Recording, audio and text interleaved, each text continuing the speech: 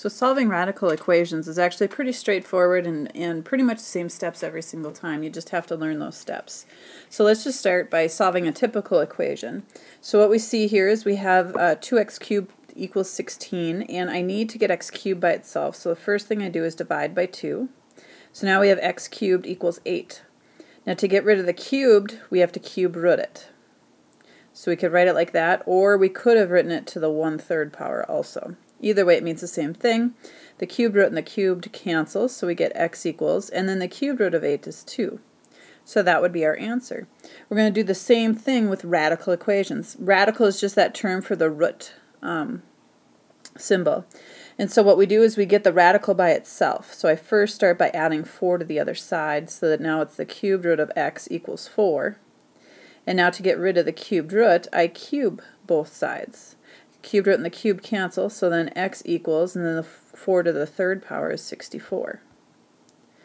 Now, you always want to check your answers because there are going to be times where your answer is not actually going to work if you went back to check. It's not that you did your math wrong, it's just that we have these answers that sometimes don't work. So I have 64, so you don't actually have to write anything down, just think about it. The cube root of 64 is 4, and then 4 minus 4 is 0. So this one actually does work out um, so we can keep our answer. Now this looks a little bit stranger. Remember radicals, um, the same thing, you know, this would be a radical if I rewrote it. So what I want to do is I want to get this all by itself. So anytime you have an exponent, you want to get that by itself. So we get rid of the 2 first. So we have x to the 3 halves equals 250 divided by 2 would be 125. And then in order to um, get rid of the exponent, I'm going to raise it to the 2 thirds power. So then my my exponents cancel out, so I just have x equals. And now, just like before, we do the root first, so the cube root of 125 is 5. And now I'll be left with 5 squared, which is 25. And then if you go in and check, the um, if I were to plug in 25 here, the square root of 25 is 5. 5 cubed is 125, times 2 is 1, 250. So that one also works out. So now we keep on going, and of course there's little things that can change, but otherwise for the most part the steps are the same. So first I get rid of the 5, I'll subtract 5 from both sides. Now that negative is still there, so it's a negative fourth root of x equals negative 5. I still want to get rid of the negative, that's still a nuisance, so I divide everything by negative 1. So the fourth root of x equals a positive 5. And now to get rid of the fourth root, I raise it to the fourth power fourth root and the 4 cancel, so then x equals, and the 5 to the fourth root I think is 625. And if you check that, you'll find that it works out. So once again, I want to get rid of the 3 in front, so I divide by 3. x to the 4 thirds then is 81. And then I raise it to the 3 fourths power to get rid of the exponent. So then those all cancel out. x equals, the fourth root of 81 is 3, and then 3 cubed is 27.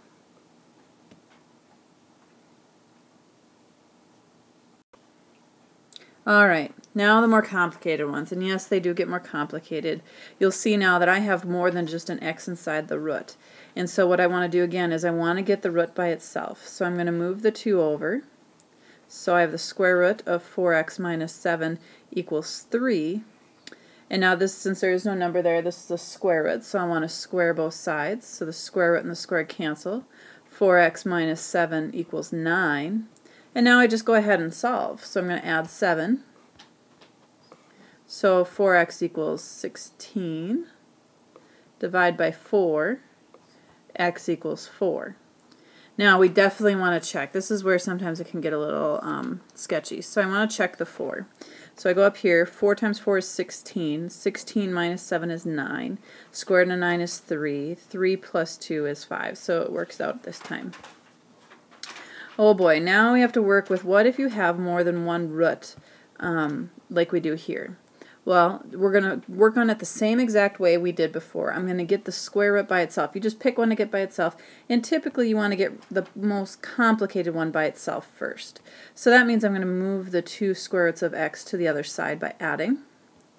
So now I have the square root of 3x plus 2 equals 2 square roots of x. And then I have to get rid of the square root. Now the square root, I'm going to get rid of it by squaring it. But you have to make sure that when you do this other side, you're squaring everything, not just the root, but we're also square squaring the 2, the 2 and the root. So I go ahead, square root and squared cancel. So then 3x plus 2 equals, and then over here, the squared, I can distribute the squared because it's multiplying here. So 2 squared is 4, and the square root of x, the square root and squared cancel, so I just get an x. And then I solve, subtract 3x from both sides. So then 2 equals x. Now I really do want to check this. I might even write it out this time. If I plug in 2, I've got 2 times 3 is 6. 6 plus 2, that will be the square root of 8, minus 2 square roots, remember I'm plugging in 2, equals 0. Now this looks a little bit complicated. Remember the square root of 8 though has a 4 in it, so that's 4 times 2, and the square root of 4 is 2. So I've got 2 square roots of 2 minus 2 square roots of 2 equals 0. So this does work out. This would be my answer. Alright, let's try this one. So I'm going to add the 3 square roots of 2x to the other side. So now I have the square root of 4x plus 28 equals 3 square roots of 2x. And then I'll square both sides. Make sure you square the whole thing again. So we have 4x plus 28 because the square root and the squared cancel equals 3 squared is 9, and then the square root and squared cancel, so I get times 2x. So this will be 4x plus 28 equals 18x. Get rid of my 4x, so 28 equals 14x, divide by 14, and 2 equals x. So once again, we'll want to double check that 2 equals x is a solution. So I plug in 2, I get um, 2 times 4 is 8, plus 28 is 36, square root of 36 is 6. And then plugging in the next one, 2 times 2 is 4, the square root of 4 is 2, 2 times 3 is 6. And 6 minus 6 does equal 0, so that one works out also. Okay, so a little vocab for you. Extraneous solution. This is when you get an answer, but it's not actually an answer. It doesn't actually work. And you're going to find that it actually does happen in these problems. I know I've been telling you check and make sure it works, but this time it actually is going to happen. And here's the scary part as I look at this. And I guess, I don't know, it's just, it's a little bit more work than what we're used to. So you'll see that our square root is already by itself, so I'm ready to square both sides. So I square this side, and then when I go over here, I have to square this side. But you need to be careful because x minus 4 squared, you can't distribute the squared this time because of that minus sign. I cannot distribute the squared. What I have to do is I have to remember that x minus 4 squared means x minus 4 times x minus 4. This is a FOIL problem or use a box to solve this.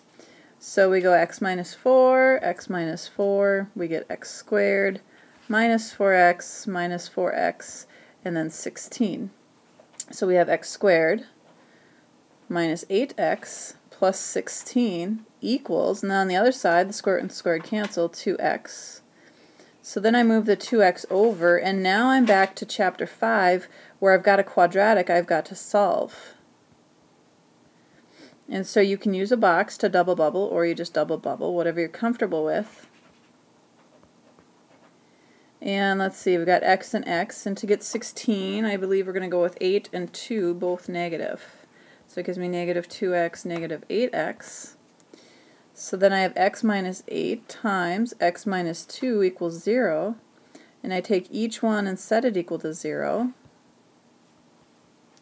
So then x equals 8 and x equals 2. Now let's check them both. So if x equals 8, I'm going to put 8 here 8 minus 4 is 4, and 8 times 2 is 16, the square root of 16 is 4. That one worked out.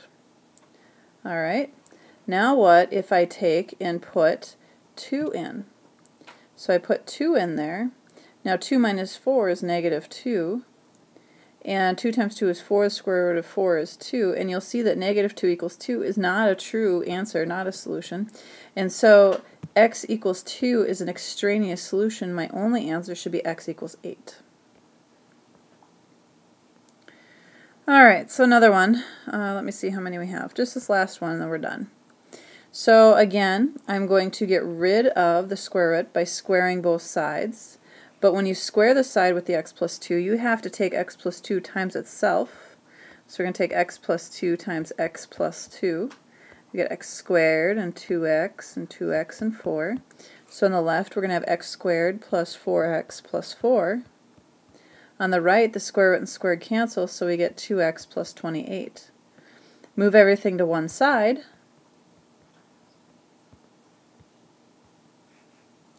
We'll get x squared plus 2x minus 24 equals 0. And now we can use a box to double bubble this. So we've got x squared and negative 24, x and x. I'm going to go with 6 and 4, positive 6, negative 4. So now we have x plus 6 and x minus 4 equals 0. So we get x equals negative 6 and a positive 4. Now if I try out the positive 4, I get 4 plus 2 is 6. That's good. And then if I plug in 4 here, I get four, 2 times 4, that's 8, plus 28, that's 36. Square root of 36 is 6. So 4 works. We're happy with that. Alright, let's try the negative 6. So we plug in negative 6 in both spots. Negative 6 plus 2 is negative 4. Now negative 6 times 2 is negative 12, and negative 12 plus 28 is 16, and the square root of 16 is 4. So negative 4 equals 4 is not true, so negative 6 is not a solution, just the 4 is.